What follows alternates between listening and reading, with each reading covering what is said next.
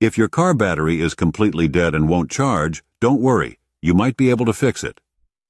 First, make sure it's safe to work on the battery. Wear gloves and goggles to protect yourself and check for any cracks or leaks in the battery. If it's damaged, you'll need to replace it. Otherwise, try cleaning the battery terminals with a mix of baking soda and water to remove any dirt or corrosion. Dirty terminals can stop the battery from working properly. Next, you can try jump-starting the battery using jumper cables and another car with a working battery. Connect the cables to the right terminals, red to positive and black to negative, then start the working car and let it run for a few minutes. Afterward, start your car and see if the battery comes back to life. If this works, drive your car for about 30 minutes to recharge the battery. If it doesn't hold a charge, it may need to be replaced or checked by a mechanic.